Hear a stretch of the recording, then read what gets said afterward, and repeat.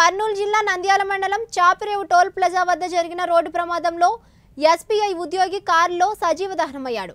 లారీని కారు ఢీకొట్టిన ఈ ప్రమాదంలో కారులో మంటలు చెలరేగడంతో అందులో ఉన్న వ్యక్తి మంటలకు ఆహుతయ్యాడు.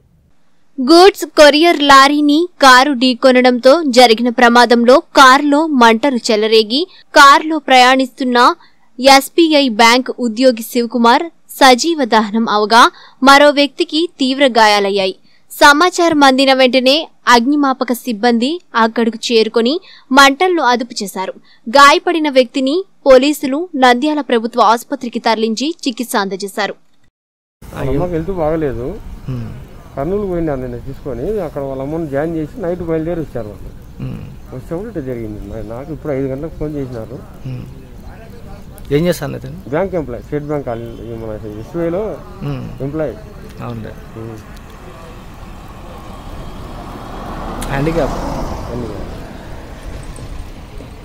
దినం అనగా నైట్ మన నంద్యాల వాస్తవమైనటువంటి ఆశయ్య శివ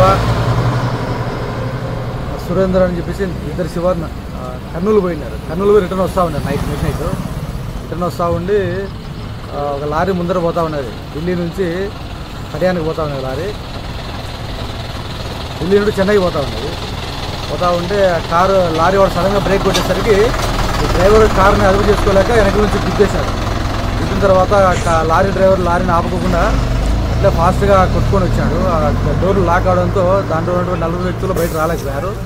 తర్వాత ఇక్కడ మన వెంకటేశ్వరం బిడ్డ దగ్గరికి వచ్చేసరికి ఆ కారులో మంటలు వచ్చి ఆ డోర్లు అన్లాక్ అయ్యడంతో దాంట్లో మిగతా ముగ్గురు దిగేశారు. ఒక ఒక పర్సన్ అందులోంచి దిగలేక ఆ ఫైర్లో ఆ మంటలు ఎక్కువ వేసి అక్కడే కారులోనే మొత్తం కాలిపోయి చనిపోవడం జరిగింది. మాకు ఇన్ఫర్మేషన్ వస్తేనే మేము అంబులెన్స్ మొత్తం ఫైర్ వాళ్ళు వచ్చేసి మొత్తం మంటలు ఆడుతున్నాము కారు లారీ డ్రైవర్ని అదుపులోకి తీసుకున్నాము. కేసు విచారణలో. ఎక్కడ జరిగింది సార్ ప్రమాదం? ప్రమాదం ఎక్కడ జరిగింది సార్ ఇది? ప్రమాదం ఇక్కడే శాంతరం హాస్పిటల్ దగ్గర గుడ్లాడు ఓకే. అక్కడ నుంచి అట్లే కారు లాక్కొని వచ్చింది అతను ఏం చేస్తుంటారు?